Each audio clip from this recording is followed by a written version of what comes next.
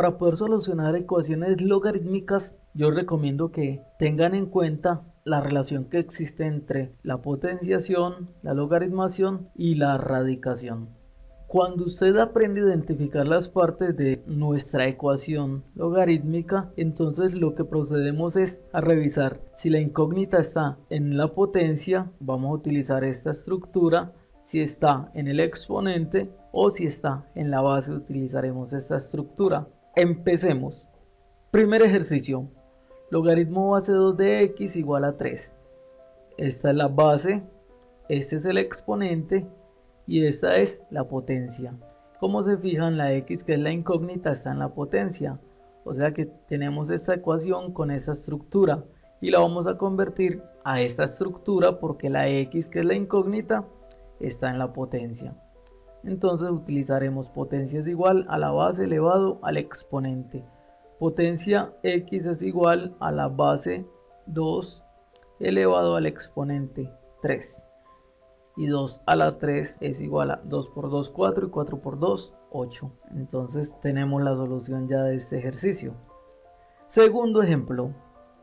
Logaritmo base 5 de x más 3 es igual a 2. Esta es la base, este es el exponente y este de aquí es la potencia. x más 3 es la potencia. Igualmente, como en el ejercicio anterior, la incógnita está en la potencia. Entonces vamos a utilizar la fórmula de potencia. Potencia es igual a base elevado al exponente. Potencia que es x más 3 es igual a la base que es 5 elevado al exponente que es 2. O sea que x más 3 es igual a 5 por 5, 25. Vamos a despejar la x, vamos a quitarle ese 3 que está sumando, va a pasar a la derecha, a restar. x es igual a 25 menos 3. Por ende, x es igual a 22. Esa es la respuesta del segundo ejercicio. Vamos con el tercer ejercicio.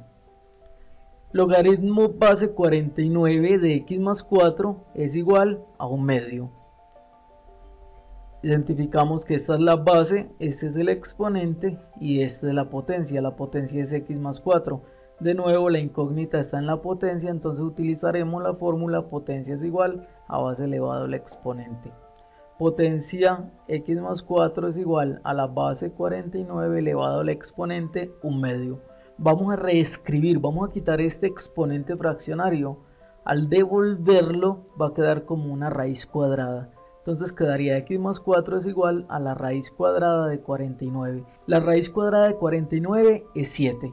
Por ende, x más 4 es igual a 7. Vamos a quitar este 4 que está sumando, pasa a la derecha, a restar.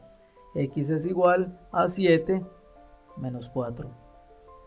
Por ende, x es igual a 3. Esta es la respuesta. Cuarto y último ejercicio. Logaritmo base x de 8 es igual a 3. Esta es la base, este es el exponente y 8 es la potencia. Como se fijan, en este caso la incógnita está en la base. Entonces vamos a utilizar la fórmula de la base. Base es igual a la raíz e de p. Por ende, base x es igual a la raíz cúbica de 8. Y la raíz cúbica de 8 es 2. Esta es la respuesta de este ejercicio. Ha sido todo por esta clase amigos. Espero que repasen mucho en casa. Nos vemos.